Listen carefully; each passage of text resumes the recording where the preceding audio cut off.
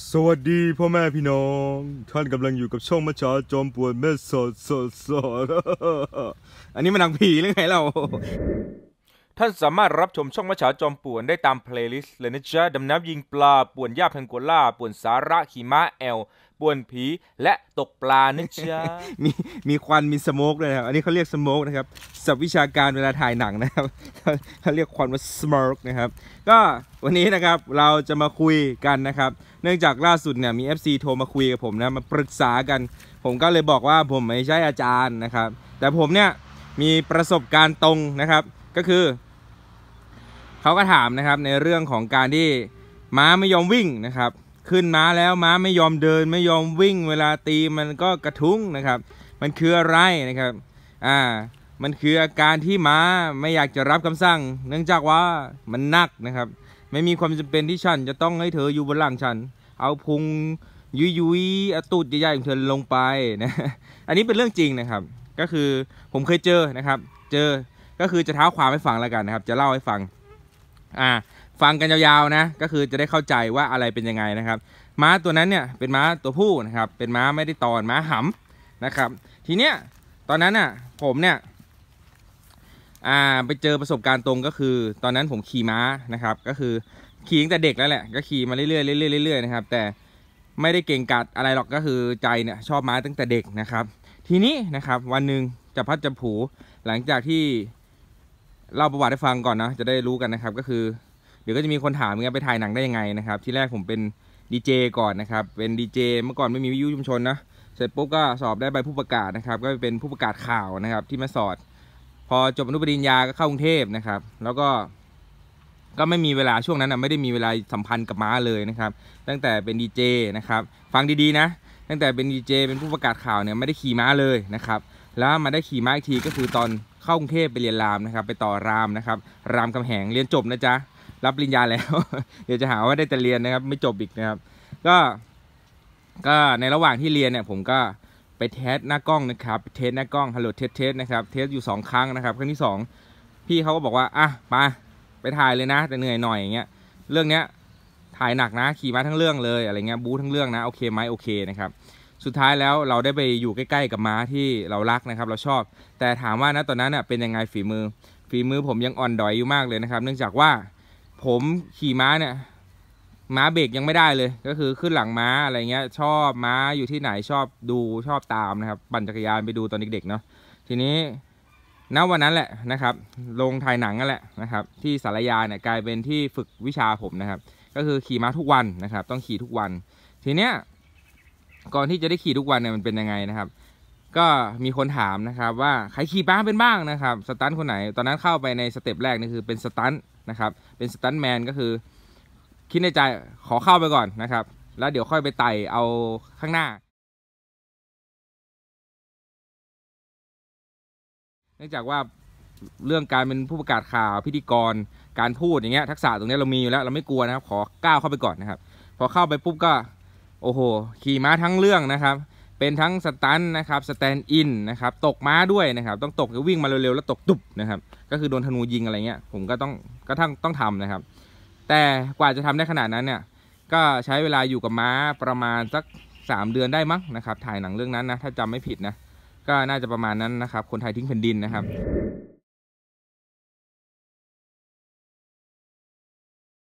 ไม่ค่อยเห็นหน้าผมหรอกในเรื่องนี้นะครับเพราะผมต้องหลบนะครับ หลบหน้าก็คืออยู่เกือบทุกเมืองเลยต้องต้องปิดหน้าขี่ม้าตลอดนะครับ ก็สเต็ปแรกนะครับ ที่ผมเท้ามาทั้งหมดเนี่ยอยากจะให้รู้ความเป็นมาก่อนว่า ผมทำไมถึงกล้ามาทำคลิปนะครับ ให้พ่อแม่พี่น้องนะครับ ได้มีความรู้หรือแก้อาการกัน ผมไม่ได้จบมาจากอ่าสถาบันมีชื่อนะครับที่ออสเตรเลียหรืออเมริกานะครับ ผมเนี่ย บ้านนอกชัดๆเลยนะครับ แต่เอาประสบการณ์ตรงมาเล่าให้ฟังนะครับ บางคนดูผมแล้วอาจจะแบบเอ้ยหานี่ไม่น่าเชื่อถือเลย มันเอาอะไรมาวะนะครับ มีม้าแค่ 3 ตัวทำคลิปนะครับ แต่ม้าผมเนี่ยอย่าลืมนะ ม้าแข่งนะครับ ม้าตีนปลายด้วยนะโคตรแรงเลยนะครับฟิเชียนนะครับ มีอาการมีเซนที่ดีมากยกหน้าเต้นรำได้หมุนตัวได้นะมัชฉาเนี่ยทำได้นะครับอ่าอันเนี้ยเดี๋ยวค่อยเอาคลิปนี้ให้ดูกันตอนเด็กๆกับมัชฉาเต้นเก่งมากนะครับ ทุกวันนี้ก็ยังยกหน้าใส่ผมเล่นกับผมอยู่นะ ทีนี้นะครับเรามาคุยกันก็คือเข้าประเด็นในการถ่ายหนังเนี่ยนะครับ มันก็จะมีม้าอยู่ตัวหนึ่งนะครับ ที่เป็นม้าที่ทุกคนมองข้าม ซึ่งผมไม่รู้หรอก เพราะหนังเรื่องนี้มีการแคสหน้ากล้องกันไปก่อนแล้วนะครับ เทสหน้ากล้องกันไปหมดแล้ว ผมถึงต้องเข้าไปอยู่ใน พอเข้าไปอยู่ในจุดของการที่เป็นสตันท์เนี่ยผมก็ไม่รู้หรอกว่าม้าตัวไหนแม่งขี่ได้ไม่ได้ขี่ดีไม่ดีนะครับเขารู้กันหมดแล้วไงทั้งกองถ่ายว่ามีอยู่ตัวหนึ่งก็คือไอ้ดำนะครับ ผมเรียกมาไอ้ดำชื่อจริงมันมันตัวดำๆนะครับสีดำเลย แล้วเป็นม้าห่ำที่ไม่ได้ตอนนะครับ ทีเนี้ยไอ้ดำเนี่ยเป็นม้าที่ทุกคนรังเกียจนะครับรังเกียจมากเพราะอะไร เพราะว่าใช้ไม้ตีอย่าเรียกว่าตีดีกว่านะดูดีไปทุบดีกว่านะครับ ใช้ไม้เนี่ยเล่มใหญ่ๆแบบไม้ไผ่เนี่ยใส่เลยบกนะครับบกนะครับ ไม่เดินนะครับ ตีก็ไม่เดินนะครับ ยืนทื่อให้เขาตีไม่กลัวเจ็บไม่รู้สึกรู้สาอะไรเลย นี่คือเรื่องจริงที่ม้าตัวนี้โดนนะครับ แล้วก็ไม่มีใครขี่มัน สุดท้ายแล้วพอเข้าฉากหันซ้ายหันขวา แม่งม้าไม่มีสักตัวมีแต่ไอ้ดำทำไงอะไอ้ดำไอ้ดำแม่งมีตัวเดียว ไอ้รับก็ต้องขี่ไอ้ดำไง เออบางคนยังไม่รู้จักชื่อผมนะครับ ผมชื่อรับนะครับลอลิงเป็นการความฝันนะครับ สรุปว่าไอ้รับก็ต้องขี่ไอ้ดำนะครับ ตั้งแต่วันนั้นมาผมก็คิดไอ้ห่าดำมึงก็ไม่ค่อยเดินนะมึงไม่ค่อยอะไรกูเลยนะครับ ด้วยความที่ผมจะต้องนอนกองถ่ายนะครับ แล้วดูแววแล้วเนี่ยไอ้ดำน่าจะเป็นม้าประจำตำแหน่งผมแล้วล่ะเพราะมันเป็นม้าที่ ไม่มีใครอยากได้มันนะครับ เสร็จปุ๊บผมจะทำยังไงผมก็นั่งคิดนะครับ ถ้ากูจะต้องมาใช้ชีวิตร่วมกับมึงอยู่ทุกวันทุกวัน แล้วกูขี่เข้าฉากแล้วมึงไม่วิ่งเนี่ย เวลาเขาห้าสี่สามสองเนี่ยกูก็โดนเขาด่าว่าทำไมไม่ขี่มานะครับ พอไม่ขี่มาไม่เป็นไรนะครับเขาจะว่าอีกว่าทำไมขี่มาไม่เป็นใช่ไหมนะครับอ้าวเขาด่าเราหมดนะ เพราะเราเป็นผู้น้อยนะครับ เพราะฉะนั้นแล้วเนี่ย ผมไม่ใช่สตันระดับฮอลลีวูดนะเออที่จะไม่โดนด่านะครับ เพราะฉะนั้นเนี่ย การคุมสัตว์นะครับมีอย่างเดียวผมก็เลยคิดเลยไอหาตอนเด็กๆเนี่ยแม่ไม้ใหญ่ตีไม่เจ็บล็อกนะครับ แต่ที่มันแสบทนนานแล้วก็จำเข้าไปในความในเซลล์สมองส่วนลึกนะครับ ก็คือไม้มะยมนะครับ ไม้มะยม ใช่ไหมถ้าใช่กดไลค์เลยกดไลค์ไม้มะยมเนี่ยมันแสบนะครับ เข้าไปในกระดูกดำเลย ทีเนี้ยไอ้ห่านี่แม่งไม้ใหญ่ตีไม่เจ็บเว้ยไม่ work ไม่เดินไม่วิ่งนะครับไอ้ดำไม่วิ่งไม่เดินล่อไม้เนี่ยครับไม้เล็กๆนี่แหละ เด็ดเลยเด็ดปุ๊บก็รูดไปฟืดนะครับ ยิ่งยิ่งให้มันเล็กอย่างเงี้ยเรียวๆอย่างเงี้ยมันจะแสบนะครับเนี่ยนี่นะครับเรียวๆแบบเรียวเล็กเซ็กซี่แบบเนี้ยมันจะแสบนะครับ ก็หวดไอ้ดำปรากฏว่าไอ้ดำตาตื่นหูตั้งไอ้ดำวิ่งเลยทีนี้ไอ้ดำบอกว่าแสบเว้ยฟิลนี้กูไม่เคยโดนนะครับ ก็ใส่เข้าไปทีนี้ก็ขี่กันทุกวันทุกวันทุกวันนะครับ จนเจ้าดำเนี่ย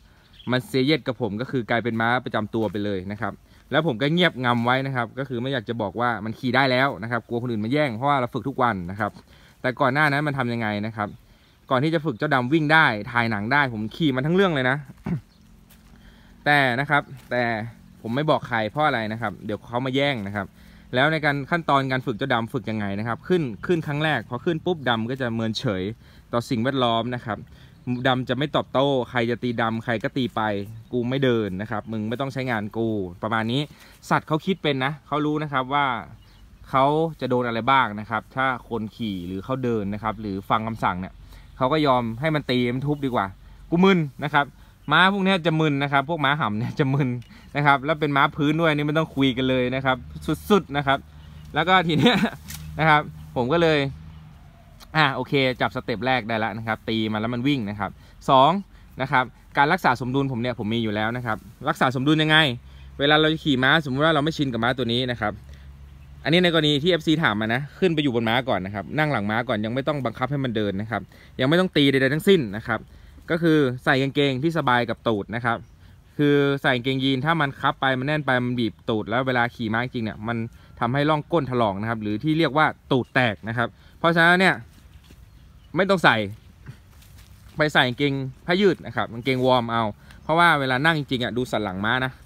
นี่นะครับ ดูสันหลังม้านะนี่นะครับ มันจะเป็นเหลี่ยมอย่างเงี้ย เราจะต้องวางก้นให้ลงให้ได้นะครับ อ่า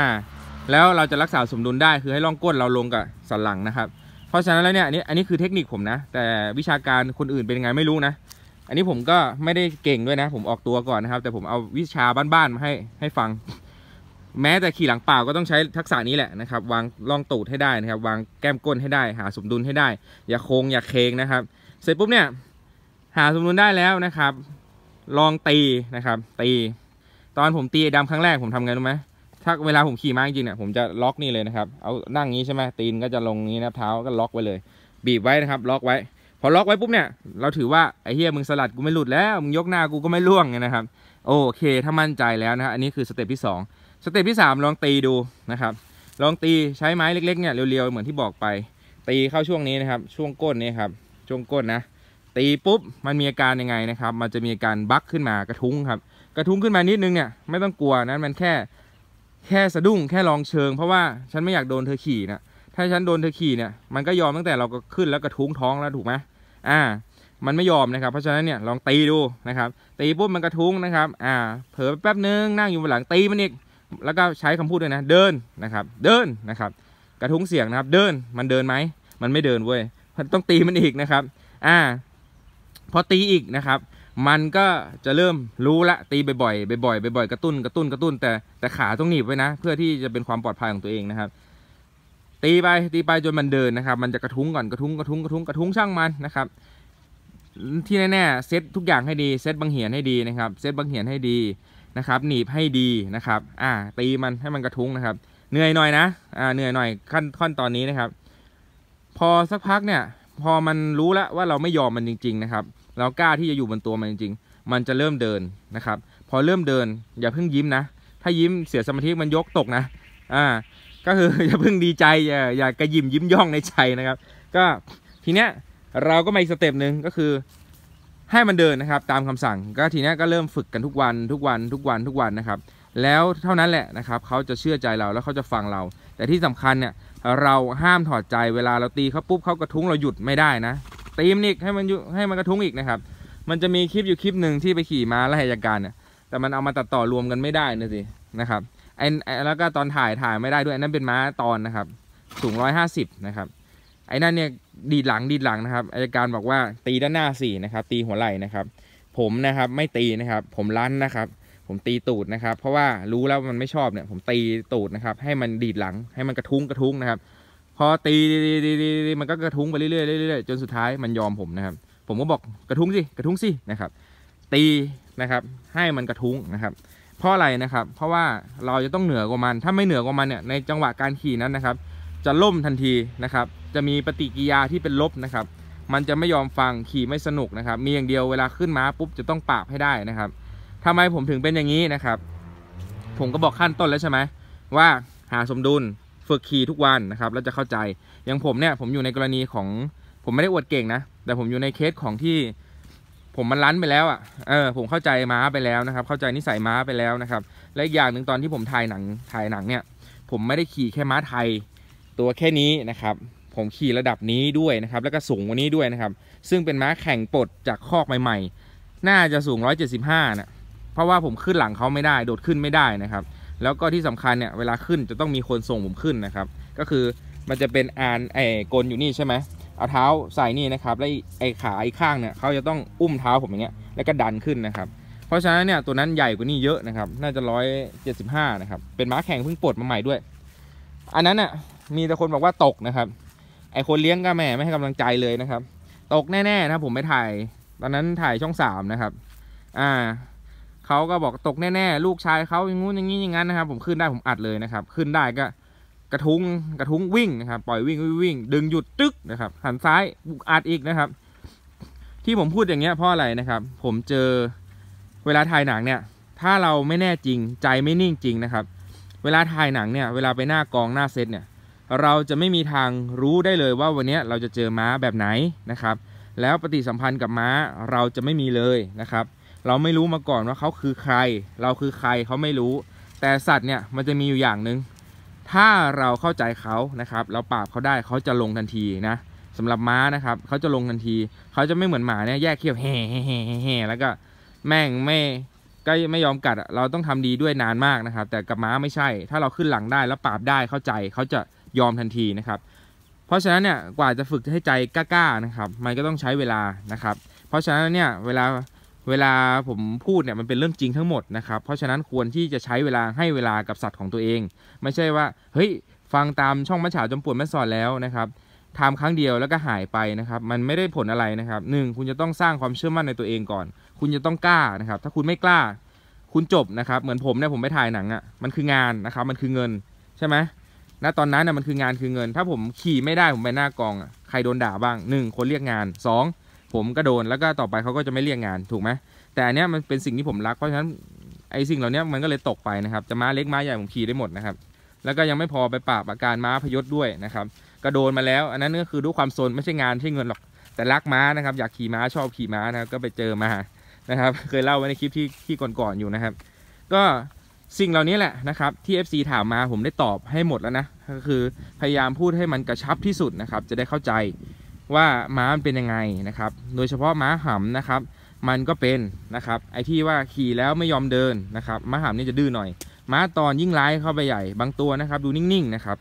ดูนิ่งๆไม่มีปฏิกิริยาอะไรนะครับ สูงแค่ประมาณ 140 มั้งนะตอนนั้นถ่ายหนังเนี่ยพระเอกในเรื่องเนี่ย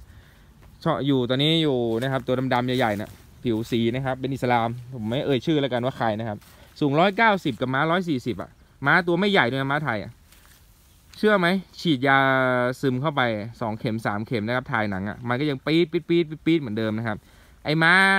ตอนิ่งๆเนี่ย อย่าคิดนะว่ามันมันจะนิ่งจริงนะครับ มันก็แสบนะครับ เพราะฉะนั้นแล้วให้ม้ามีอาการแบบฟุดฟัดฟุดฟัดให้เราเห็นน่ะมันดูง่ายกว่านะครับ แล้วถามว่ามี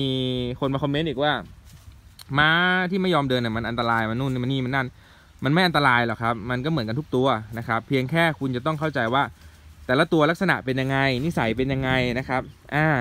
เราจะต้องเข้าใจเขาก่อนนะครับ ถ้าเป็นม้าในมือเรานะ อ่า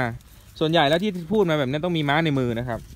แต่ถ้าเป็นม้าชาวบ้านเขาเราไปขี่ตามฟาร์มเขาฝึกมันไว้ดีแล้วนะครับ ในคลิปนี้ก็คือพูดถึงคนที่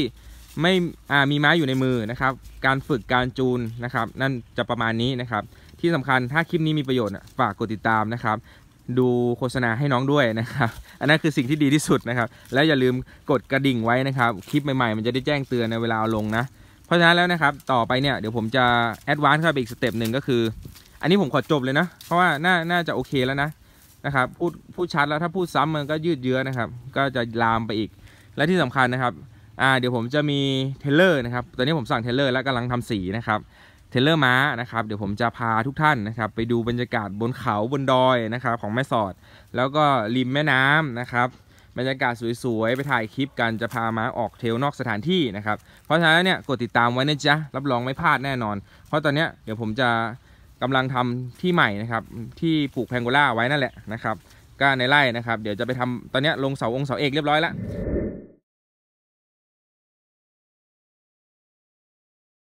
เดี๋ยวรอเอาม้าไปอยู่ทำคอกม้านะครับ ก็จะเห็นวิธีการฝึกม้าในอีกแบบหนึ่งนะครับ ที่ผมจะใส่แบบเต็มแม็กเลย ก็คือสามารถที่จะเอาม้าไปถ่ายหนังได้นะครับ รวมถึงแม้เจ้าตัวนี้นะครับที่เป็นม้าแข่งนะครับ ผมจะทำให้เขาไม่ขี้ตื่นไม่ขี้ตกใจนะครับ สามารถที่อยู่บนหลังแล้วถือธงได้นะครับ ผมจะทำให้ดูม้าแข่งตัวนี้นะครับอ่าตอนนี้ผมไม่ได้ฝึกอะไรเขาเยอะนะครับ ฝึกเยอะไม่ได้เพราะอะไรเพราะว่าตรงเนี้ยมันเป็นอาณาจักรที่ เป็นบริเวณพื้นที่ที่มันเปิดโล่งนะครับ กลัวเขาเก่งมากเขาไม่กลัวอะไรเนี่ยเขาจะออกถนนนะครับ กลัวรถจะชนนะครับ กลัวจะไปชนรถนะครับอ่ามันหลายเรื่องนะครับ เลยไม่ฝึกให้เก่งมากนะครับ ถามว่าผมมีความรู้เท่าไหร่นะครับเดี๋ยวผมจะป้อนให้ม้าผมทั้งหมดเลย แต่ที่เนี่ยมันป้อนให้ไม่ได้ เนื่องจากว่าพื้นที่มันไม่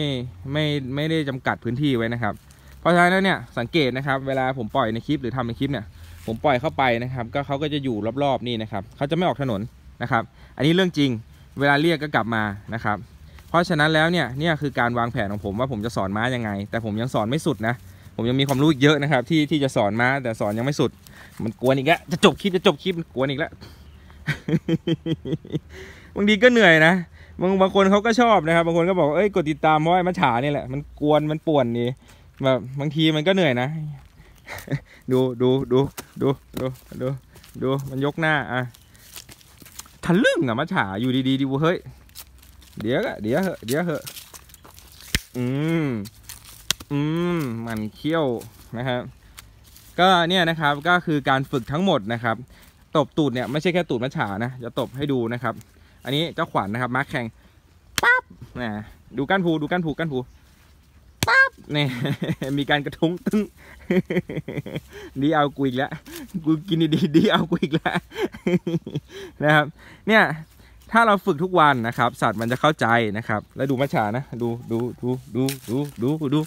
ดูดูดูมันงี่เง่านะครับ เนี่ยมันก็จะหยอกเราแบบนี้เล่นแบบนี้นะครับ มีพี่ท่านหนึ่งบอกว่า ผมซื้อม้าก็เพราะดูช่องมาฉาจอมปวดมาสอนนี่แหละนะครับ เห็นว่า เล่นกับม้าแบบนี้นะครับ สนิทสนมกันไม่น่ากลัวนะครับ ดูม้าแล้วมันไม่น่ากลัวเลย แต่ตัวเองเนี่ยพอซื้อม้ามาจริง ๆนะครับ ก็ขึ้นหลังม้าแล้วเนี่ย พอม้ากระทุ้งหน่อยก็หยุดไม่ให้ไม่ตีม้าต่อนะครับ ไม่ให้เดินไม่ไม่สั่งม้าตอบ อันนี้ผมก็ได้คุยกันไปแล้วนะครับ ตามที่คลิปนี้นะครับที่ลงไว้ ก็นี่แหละครับประสบการณ์ทั้งหมดที่เอามาแชร์กันนะครับ ออกตัวก่อนนะครับ ผมไม่ได้จบสถาบันที่ไหนมาเลยนะครับ ที่อเมริกาออสเตรเลีย เอกวาดอร์สโลวาเนียนะครับ ผมไม่ได้จบจากสถาบันการขี่ม้าที่นั่นมาเลยนะครับ ผมจบมาจากวิชาการขโมยความรู้และใจกล้านะครับ ก็คือเขาทำยังไง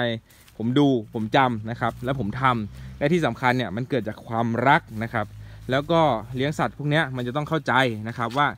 ลักษณะนิสัยเขาแต่ละตัวไม่เหมือนกันนะครับ ตัวนี้เป็นยังไง และที่สำคัญใจเราจะต้องใหญ่นะครับ เวลาอยู่บนหลังม้าแล้วคิดอย่างเดียว กูจะไม่ตกนะครับ คิดอย่างนี้ ถ้าขึ้นเมื่อไหร่ต้องคิดอย่างนั้นละถ้าขี่ม้านะครับ แต่ถ้าไม่ได้ขี่นะครับ